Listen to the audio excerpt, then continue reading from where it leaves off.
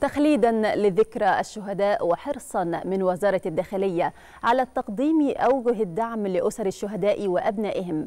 قامت الوزارة بإفاد عدد من قيادات وضباط مختلف مديريات الأمن لاصطحاب أبناء الشهداء إلى مدارسهم وإهدائهم حقائب مدرسية تحتوي على كافة متطلباتهم.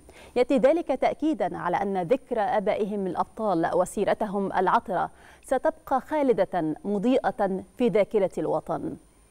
ولسه بحس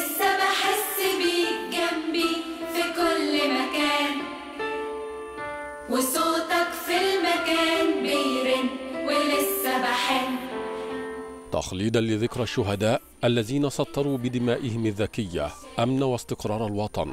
وفي تأكيد على أن الوطن لا ينسى من ضحى من أجله أوفدت وزارة الداخلية مأموريات لتوزيع حقائب ومستلزمات مدرسية على أبناء الشهداء ممن يتلقون التعليم في مختلف المراحل الدراسية في إطار الدعم والمساندة المقدمة لأبناء الشهداء. حاجة زي كده بتبقى رافعة من روح الولاد وترفع من روحهم المعنوية هما مهتمين بينا وجابوا لنا شنط المدارس والهدايا وجابوا لي كل حاجة. هما مش سايبيننا وطول الوقت معانا وطول الوقت حتى لو إحنا احتاجنا أي حاجة غير كده بيجوا لنا وإحنا حتى ممكن نتواصل بيهم بنروح لهم. يعني معانا في كل خطوات حياتنا من ساعة ما سيد الله يرحمه توفى.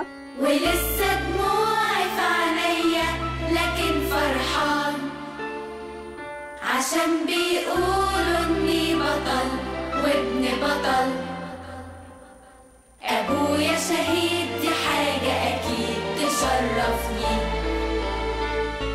كما أوفدت الوزارة مأموريات لمرافقة أبناء الشهداء إلى مدارسهم مع بداية عام دراسي جديد في لمسة إنسانية تحرص عليها الوزارة سنويا وتؤكد على مدى الرعاية المقدمة لأسر وأبناء الشهداء وتقديرا لما تحملوه في سبيل الوطن وتكريمهم هو تكريم لآبائهم الذين استشهدوا دفاعا عن الحق والواجب والأمن.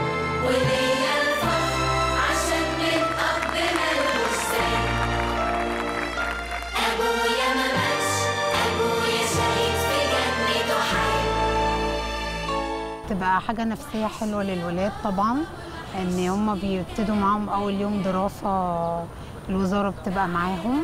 جم خدوني من البيت كنت مبسوط جدا و- وصراحة اتبسطت جدا في يومي النهاردة.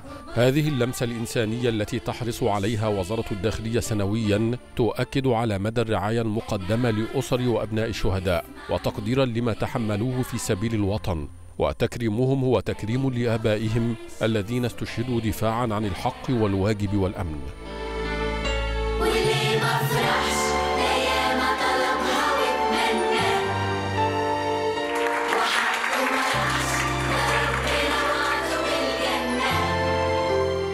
وزارة الداخلية طبعا أنا بشكرها على كل التقدير والمجهود اللي بيعملوه معايا أنا والولاد ورعايتهم لينا دايما وسؤالهم علينا على طول. النهارده جم اصطحبوا الولاد للمدرسة وكرموا ال- الولاد قدام المدرسة كلها. بشكر وزارة الداخلية وسيادة الرئيس على الضباط اللي جم خدوني النهاردة من البيت وكرموني في المدرسة. وقد شعر أبناء الشهداء بالفخر والعزة وهم يخطون خطواتهم الأولى في عام دراسي جديد. رفقة رجال الشرطة.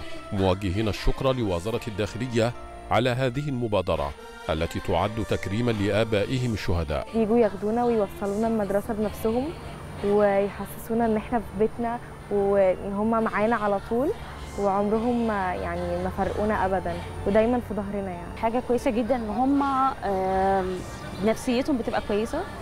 آه، بيحسوا إن هم في ليهم ظهر موجود. آه، طبعا بعد باباهم الله يرحمه. آه، دي حاجة بتبقى بترفع من معنوياتهم.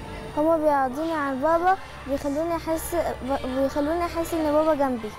أنا بستنى من سنة لسنة علشان منتظر اللحظة ديت ببقى واقف في المدرسة فخور. أبويا ما ماتش أبويا شهيد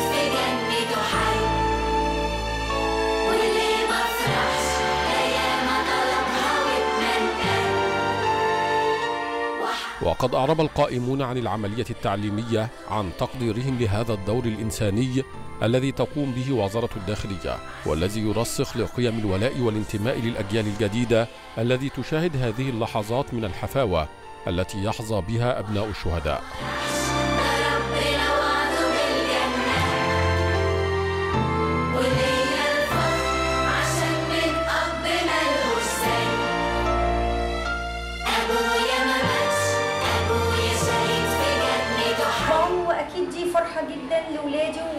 جدا فرحانين ومبسوطين باهتمام الوزارة بيهم وتكريمهم آه، يعني قصاد زمايلهم. وتأتي هذه المبادرة انطلاقا من المسؤولية الوطنية تجاه أبناء الشهداء واعتزازا بأرواح صعدت إلى بارئها وهي تدافع عن الوطن ليحيا أبناؤه في أمان واستقرار وينهض نحو التقدم والبناء.